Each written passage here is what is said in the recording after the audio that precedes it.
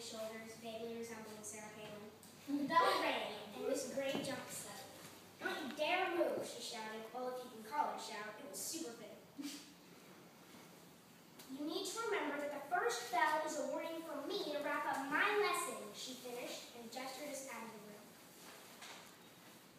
I grabbed my silver and orange bag off the floor of the classroom and shoved my binder and textbook in it, then hoisted it up onto my shoulders. I was about to leave the class and go to homeroom when Harper, this really times a hundred, times a hundred annoying kid, looked at me all giddy and happy.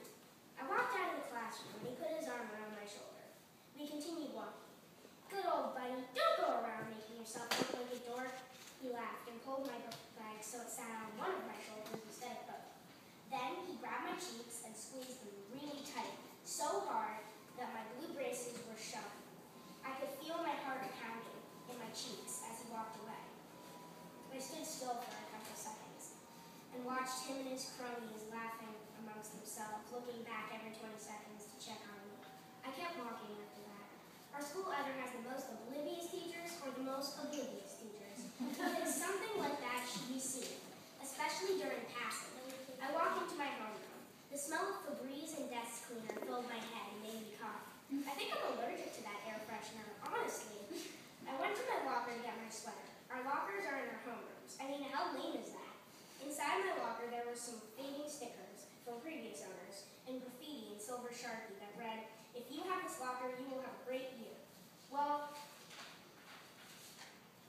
if you consider homework overload, bad teachers, mean annoying kids, good, well, great. Your life will be very easy.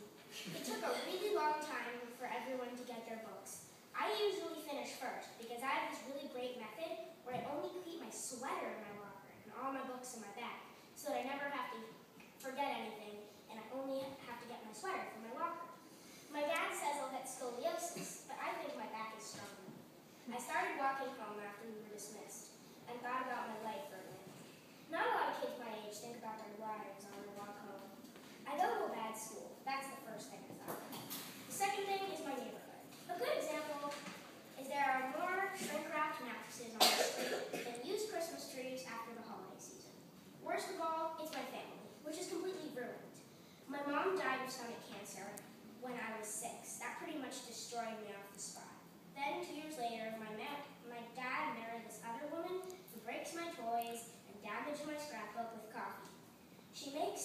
cry all the time. Sadie's my little sister.